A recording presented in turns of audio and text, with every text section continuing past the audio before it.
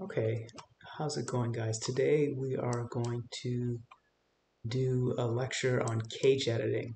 And cage edit editing is really uh, helpful and powerful tool in terms of developing some complex geometries uh, especially getting some really interesting surface forms. And with these forms you can develop some other geometries to create something uh, tectonic Okay, so let's start from the beginning.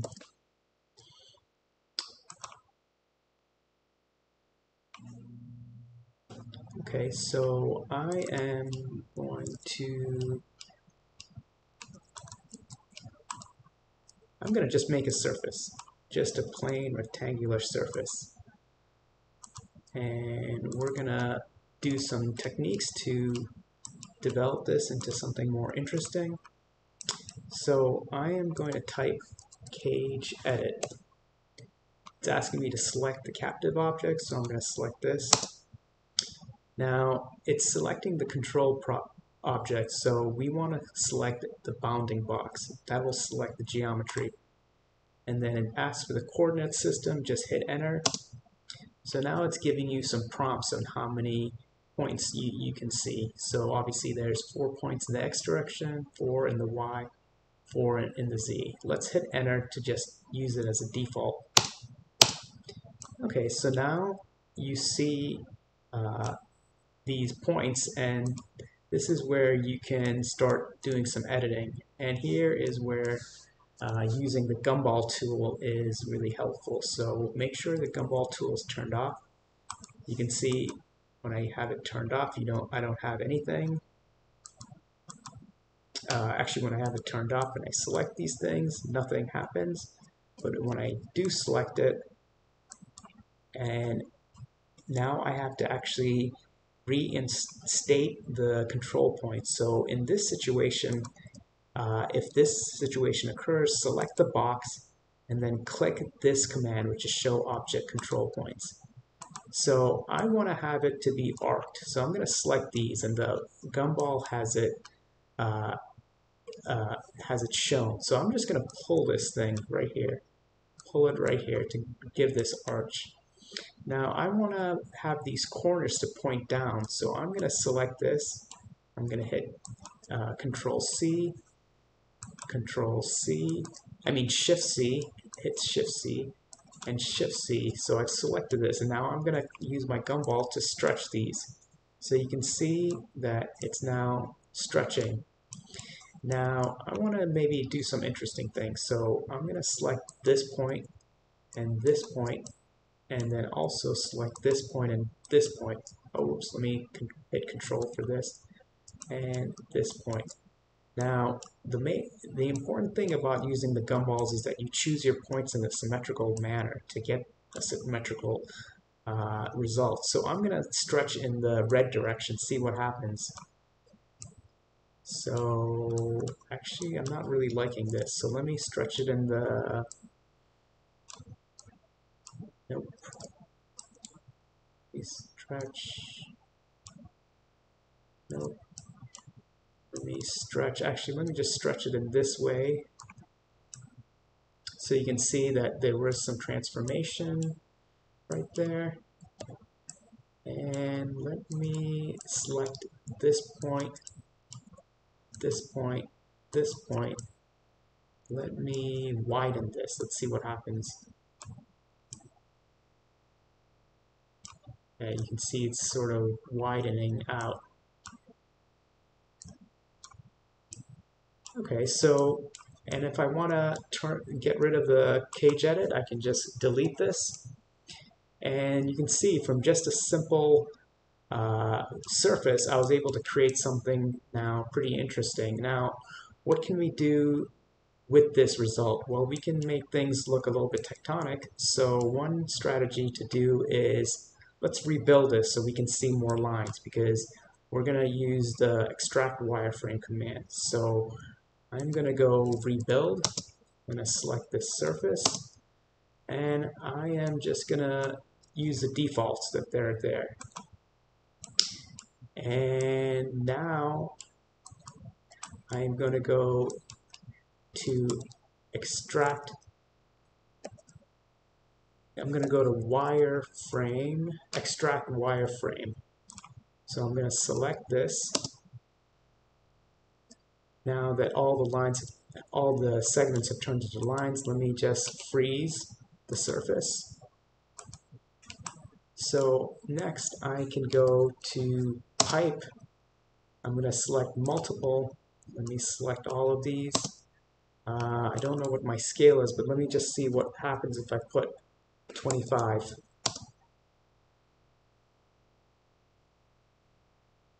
Okay, it's a little bit small. I'm going to undo that. I'm going to go to pipe. I'm going to click on select multiply.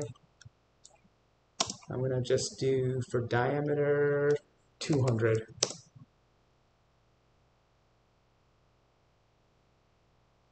Okay, so you can see that you know I can develop something that looks very tectonic. This could be an overhang or whatnot, or maybe a sculpture. So let's do another geometry to play around with this command. So I'm going to just make a circle. I'm going to select it. I'm going to go over here and make it into a surface. I'm going to go to Cage Edit. I'm going to select this. I'm going to click Bounding Box, select this. Let me change the X count to 12. Let me change the Z count to 1. Oh, it's not letting me do 1. Let me see 3. And then I'm going to hit enter. Okay, so why don't I select all the bottom points here? And then I'm going to hit, hit shift. Let me hit control this. So, whoops. Let me pull this. Actually, no, I want to pull it down.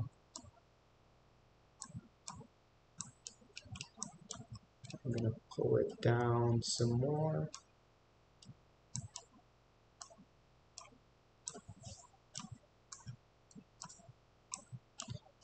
And then let me select this point, and as you can see, I'm, I'm taking a very symmetrical approach, so my geometry looks, you know, uniform, but, you know, you can obviously do whatever looks interesting, so creating this geometry. And you know if I want to start again I can still do use another uh, cage edit. So let me type cage edit. If I want to start fresh I can click on this bounding box enter. I'll just use the same points. So I can maybe Oops, let me turn the points on.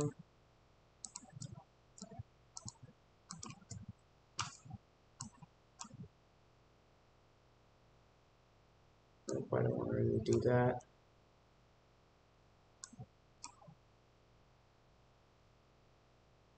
You don't want to. Now it's getting a little too deformed. So I'm going to stick with this. And one strategy that I can do is I can use the flow along surface to maybe map this geometry here.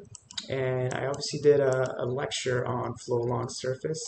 Or I could use the paneling tools to map this into the geometry. So if I want to do the flow along surface, the first thing I want to do is click on this geometry, go to Analyze, click bounding box, hit enter, because this will allow me to array the geometry. So I'm going to click on array. I'm going to select this object. In the x, direct, x direction, I'm going to put 36. Y direction, 36. Z direction, 1. So I am, as you know, with the bounding box, it you can easily get the array. So I'm going to click to this corner click to this diagonal. And one of the things I'm going to do is I want to make this into a group. Whoops. Let me do this again. Gray. Oops. Oops. 36. 36. 1.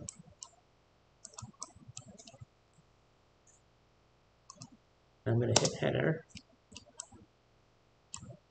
Let me just get these geometries out of the way. I'm going to make, do a bounding box in this corner because I have to create a surface underneath.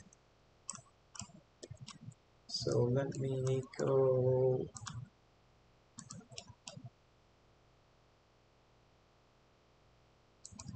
Now I want to delete this box. I want to lock this. delete this box. I'm going to select this as a group. I'm to click on my middle mouse key and unlock pressing the right mouse key. Okay, so let me go to flow along surface. I'm going to select these surfaces. I'm to hit the control to deselect this, the plane. I'm going to hit enter. The base surface will be here, and the target surface will be this new geometry. So let's see what happens.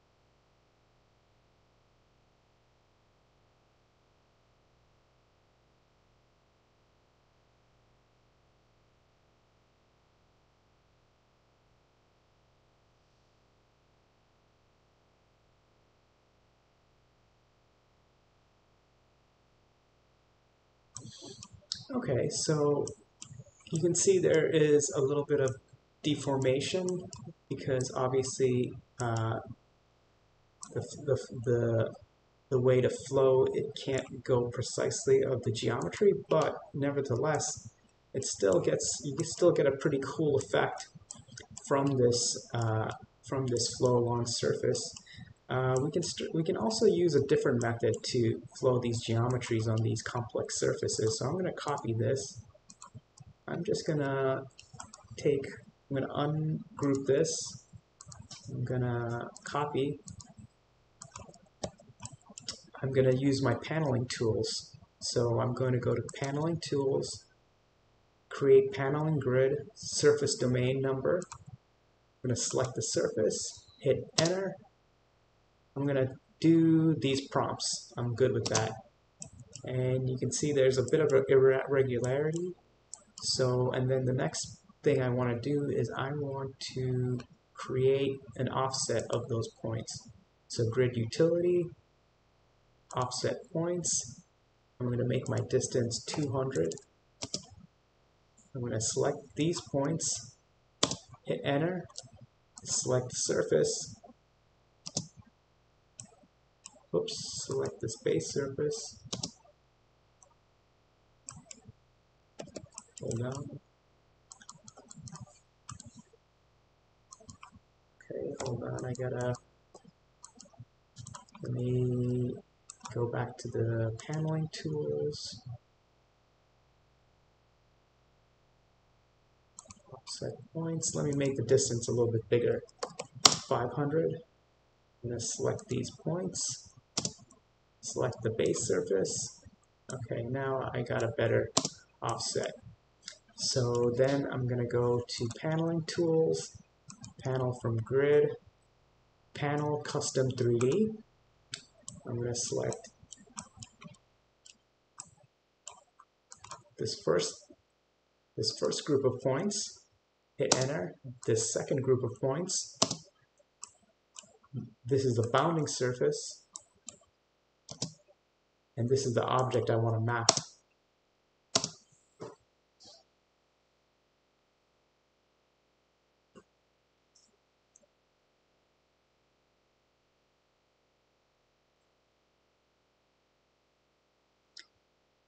Okay.